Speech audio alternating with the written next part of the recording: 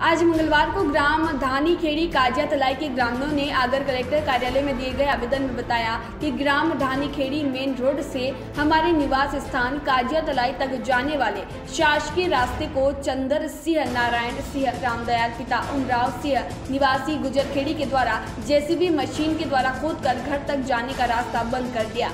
रास्ता बंद होने से हमें व हमारे वाहनों का निकलना पूर्णतः बंद हो गया। वहीं बच्चे भी स्कूल नहीं जा पा रहे हैं। हमारी मांग है कि उक्त तीन व्यक्तियों पर कानूनी कार्यवाही करके रास्ता खुलवाया जाए। इस अवसर पर बड़ी संख्या में ग्रामीण उपस्थित थे।